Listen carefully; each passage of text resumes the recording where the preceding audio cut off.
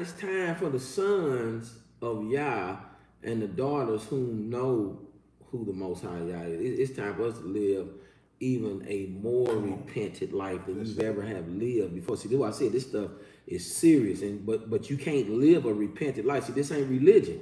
Because see, again, this is why we talking about the video, why what I showed you, because there's things that's getting ready to come over the earth yes. that only by the power of Yah.